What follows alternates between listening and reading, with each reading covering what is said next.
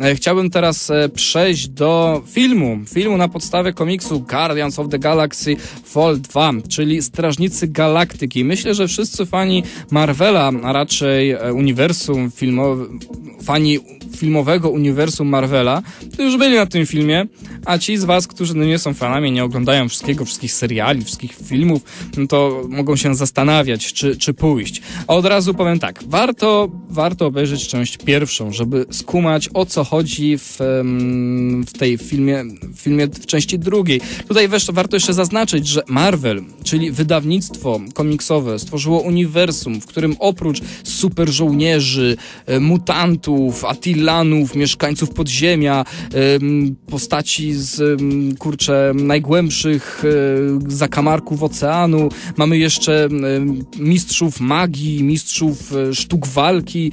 I do tego jeszcze jest cały kurczę kosmos, czyli nieskończona ilość planet. Ci bohaterowie w dodatku jeszcze podróżują po różnych wymiarach. Wyobraźcie sobie, że są różne uniwersa, ci bohaterowie z różnych uniwersów przelatują do siebie. Po prostu nie ma mędrca, który przeczytał i orientuje się w całym świecie Marvela. To jest po prostu tak olbrzymi twór obok mutantów, obok Spidermana, Kapitana Ameryki. Mamy e, postacie z mitologii nordyckiej, egipskiej, greckiej.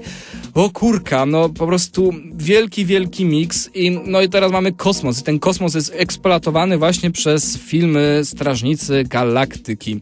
E, no i bardzo dobrze, że jest eksploatowany. Kurczę, no jednak... E, Kosmos jest bardzo istotną częścią uniwersum Marvela, ponieważ wiele niebezpieczeństw oraz wiele postaci e, pojawiło się e, właśnie na Ziemi z kosmosu, stamtąd się wzięło. E, w ogóle po, podglądając trochę konkurencję, czyli DC Comics, tam też w zasadzie chyba no, no część e, postaci mamy spoza innej planety. Superman, Marsjanin, Zielona Latarnia. Okej, okay, Zielona Latarnia no, w zależności od Zielonej Latarni, ale moc jest ogółem z, z kosmosu.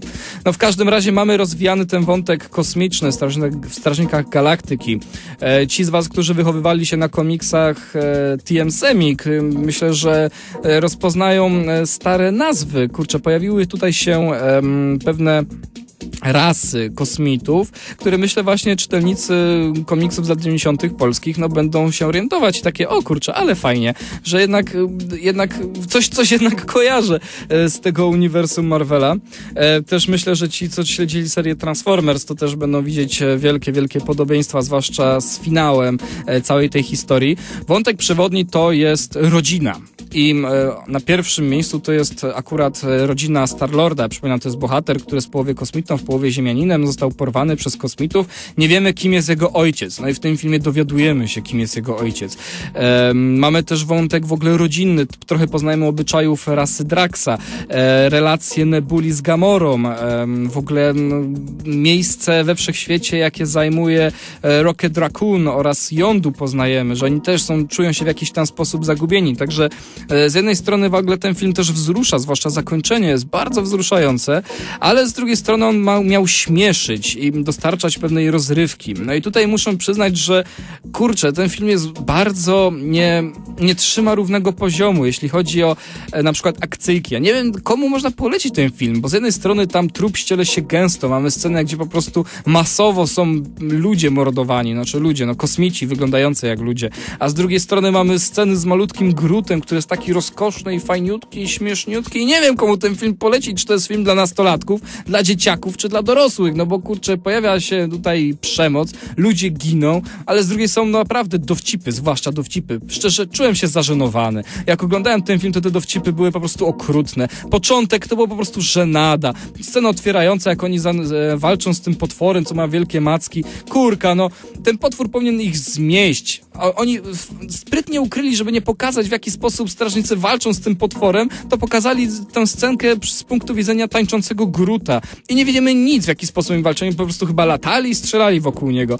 Drax, postać, która, e, którą gra w ogóle Dave Bautista, który jest, kurczę, e, zawodowym e, tym, no, naparzatorem. On, no, jest wojownikiem, no, zarabia na życie, bijąc ludzi po buzi. On tutaj nie miał żadnych scen akcji. Jedna scena akcji to było, kiedy ciachał nożami wnętrzo, wnętrzności potwora. I sobie, oglądając tę scenę, wyobraźcie, jak to musiało w czasie kręcenia tej sceny wyglądać z boku żałośnie. Postać, która ma potencjał, żeby walczyć, nie ma tutaj żadnych scen akcji. E, Jedyne co pokazał, to, e, to pokazali Rocket Raccoon i Yondu i fajnie, ale reszta została pominięta. Gamora, niby taka super wojowniczka. Co tu pokazała? Nic nie pokazała, ale dowcipy. Dowcipy to jest najgorsza część tego filmu. E, No, no po prostu e, zastanawiam się, no to były chyba rzeczy kierowane tak naprawdę do nastolatków, którzy śmieszą jeszcze e, dowcipy o odchodach, e, o podrywaniu, czy e, o tym, że Drax jest taki bezpośredni i pyta o kopulację między innymi gatunkami. Ale to było żenujące. W zasadzie Drax, który powinien być tutaj zakapiorem, nożownikiem, który powinien ścinać ludzi, on tu jest najśmieszniejszą postacią w tym filmie. No coś tu poszło nie tak. Kurka, naprawdę dowcipy były takie, że ja nie wiedziałem, że mam się zaśmiać. Wiedziałem, że to jest dowcip tylko dlatego, że ktoś na sali kinowej obok się zaśmiał. Brakowało mi tylko naprawdę szafy od śmiechu, żeby z tego zrobić sitcom i, i żeby wiedzieć, kurczę, kiedy się śmiać. Naprawdę, Strażnicy Galaktyki, część pierwsza, była bardzo fajnym filmem, wprowadzeniem do kosmosu. Świetny film, jeden z lepszych e, z właśnie e, z uniwersum Marvela kinowego, ale Strażnicy Galaktyki 2 Kurczę, no totalna porażka. No chyba najgorszy film z tych wszystkich, które, e, które zostały imitowane w kinach. Może konkurować o miano najgorszego adaptacji z tego uniwersum obok Iron Fista tak naprawdę. Okej, można powiedzieć, że fajnie eksploatowali e, kosmos, pojawiły się e, informacje na przykład o Nova Corps, mamy też Sylwestra Stallone grającego jedną z ról. Chcecie zobaczyć? Rambo w kosmosie? No nie, on tutaj nic nie strzela, nikogo nie zabija, po prostu jest Sylwester Stallone i ma ten, wiecie, wyraz twarzy. Ale no i mamy wątki też ze Star-Lordem. Tak, film jest wzruszający, fajnie, że rozwija ten kosmos e, i mamy dzięki temu wprowadzenie, że ten Thanos się zbliża wielkimi krokami, ale nic więcej. Fani e, kinowego uniwersum Marvela pójdą na ten film, obejrzą ten film. Ja to wiem, obejrzycie, zaliczycie, okej. Ci z was, którzy nie interesują się uniwersum Marvela, nie, no nie musicie iść. No macie, no, no naprawdę, teraz chociażby Obcego możecie zobaczyć w kinach. Zobaczcie Obcego, skąd się wziął Obcy.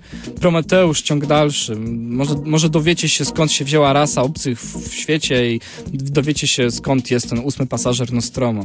No naprawdę, dowcipy na poziomie nastolatków, dużo akcji, nie wiem czy za dużo, ale no cóż, nie będę się powtarzał. E, no, film, który obejrzą właśnie fani uniwersum Marvela. Jeśli nie jesteś fanem, to nie musisz oglądać tego filmu i nic tak naprawdę nie stracisz.